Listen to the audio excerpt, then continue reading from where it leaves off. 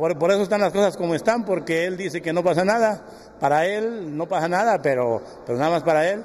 Entonces, pues yo creo que sí, sí es delicado. Yo, yo, yo qué les podría decir. Yo, yo, yo creo que eso, este, estamos por entrar en un año electoral y yo creo que a él esa, esa actitud, esa, esa negación que tiene o esa, esa, esa situación que maneja él, pues tal vez le cobre factura, tal vez le cobre factura y pues bueno, hay que dejárselo a la ciudadanía. La, ciudadanía no es tonta, la ciudadanía mmm, sabe lo que está sucediendo, sabe por qué está sucediendo y, yo creo que en las próximas elecciones lo, lo vamos a ver.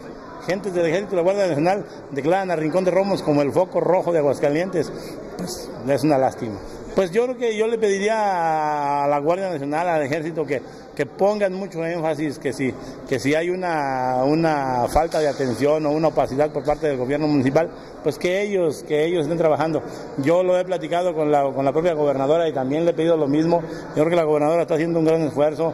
Se colocaron cámaras, nuevas cámaras este, de vigilancia.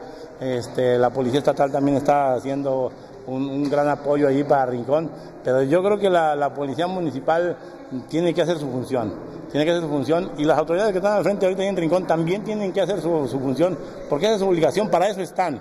O sea, que no, que no estén queriéndose deslindar o queriéndose justificar con otras cuestiones.